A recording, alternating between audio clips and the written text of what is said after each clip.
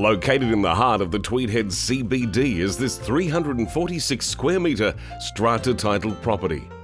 The property presents very well and is within walking distance from the recently upgraded Jack Evans Boat Harbour and the beaches of Coolangatta.